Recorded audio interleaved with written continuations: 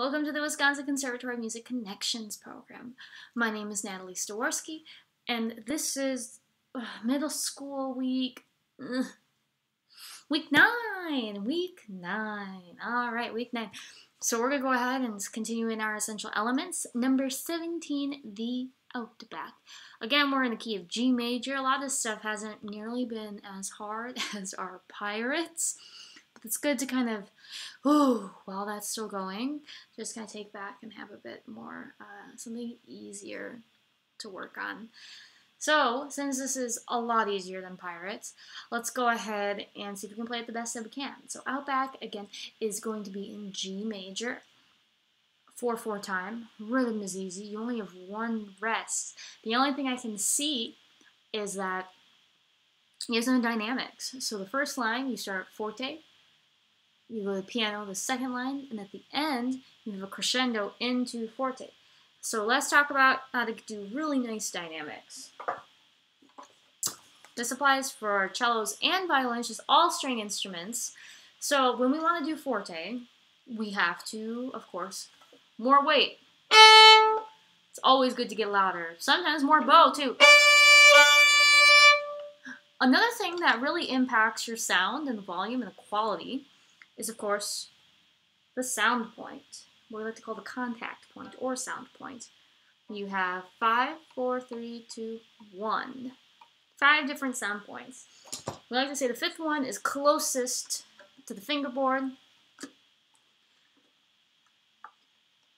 The first one is at the bridge, like right against the bridge. Now, if you take your finger and you press your finger up here, that string is really easy to press down. I'm try the same thing down here. Yeah, it's a lot harder. So the string is a lot tougher down there. So depending on uh, what you're going for, you're going to want to use different amounts of bow, different weight to play good at each sound point. So down here, if you play really, really light, let's see what happens. Ugh. Ugh. Sounds terrible.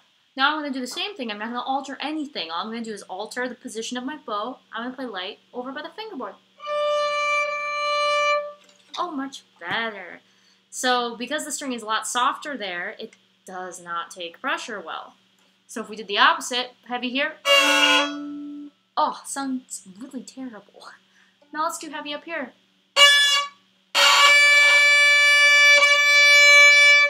Once you get going, it sounds better, but that initial, I need rosin, sounded quite terrible.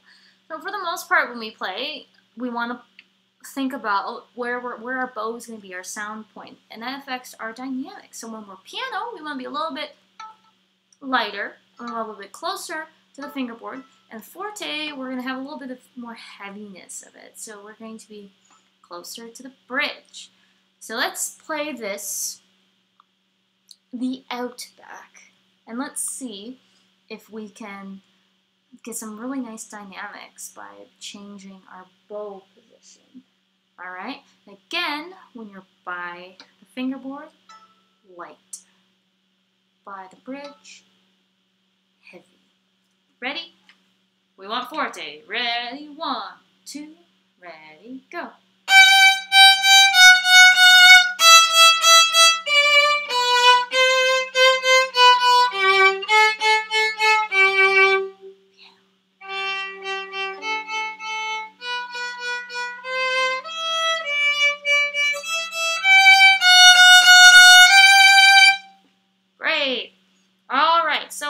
We have that kind of a tricky thing. We have the crescendo into a forte.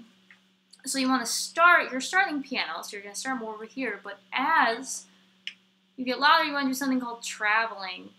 Not really, what kind of traveling? You're going to be using more bow, and you're going to be slowly moving the bow towards the bridge. Try that for me. So just one and two and to get the forte. All right, so that's it for this week. Next week, I'll see you again. Have a good practice. Bye.